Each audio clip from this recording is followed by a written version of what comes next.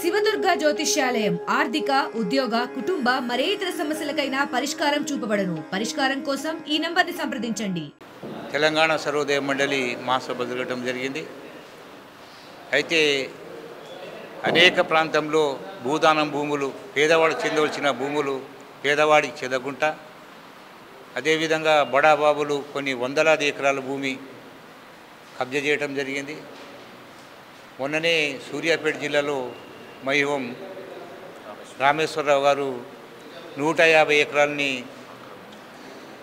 కబ్జా చేసుకుంటా ఉంటే దానికి రేవంత్ రెడ్డి గారు జియో పాస్ చేసి ఎంబడే నూట యాభై ఎకరాలను రద్దు చేసి పేదవాళ్ళకు పంచాలనే అభిప్రాయం మీద నిర్ణయం తీసుకోవడం జరిగింది.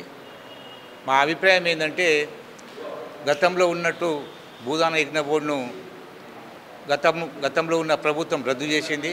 కాబట్టి భూదాన బోర్డును మళ్ళా తిరిగి భూదాన బోర్డు పెట్టాలని తెలంగాణ సర్వోదయ మండలి ప్రతి జిల్లాలో మహాసభలు జరిపి ప్రజలకు ప్రజలకంతా ఏకం చేసి ముందు పోరాటం చేయడానికి సిద్ధంగా ఉంది.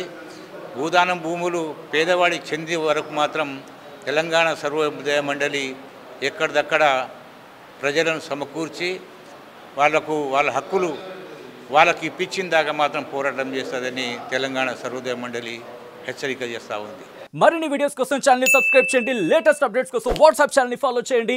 అండ్ లింక్ డిస్క్రిప్షన్లో ఉంది.